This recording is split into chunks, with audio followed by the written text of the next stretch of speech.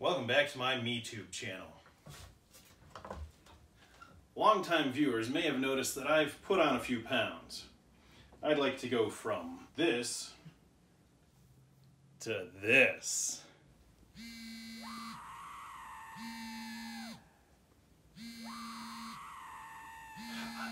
Again, every time. Yes, dear.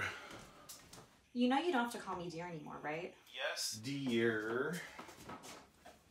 Funny. That's why you married me. Yeah, it definitely wasn't because of the. Bob. Bob, did you just crack open a beer? Yes? Bob, you promised that you wouldn't drink when Margot's in the house. After our last camping trip and the accident. Your drinking is why I divorced you. Katie, Katie, Katie, Katie, Katie. Come on now, hold on. It's just a root beer. I was joking around. It wasn't funny. Uh, would you like to come up to my place?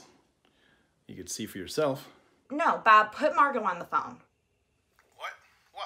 No, I want her to tell me that it's just a root beer. Are you serious? You know what? Fine. Margot!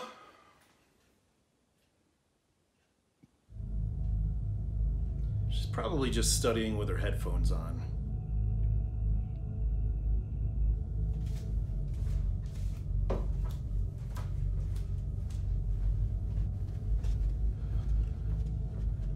Margot!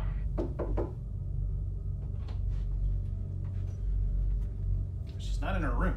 Well, where is she? Come on, Bob, where is our daughter?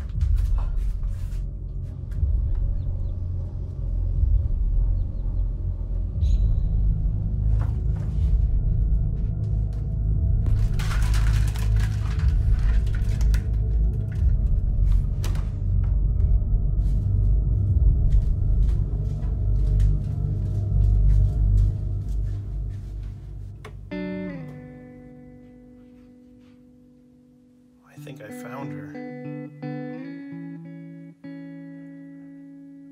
Is she okay? Margot, are you okay? Mom? Dad, what's going on? We couldn't find you. You had us so worried. I've just been here, in my tent. Tent? Yeah, she's she's got some blankets up in the basement. Sh- She made a tent. Yeah, I just wanted.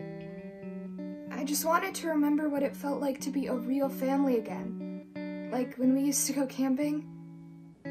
But we haven't gone camping since. The accident. There's no place like home.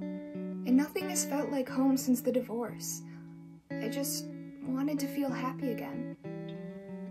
It's okay, sweetheart. You can sleep down there if you'd like.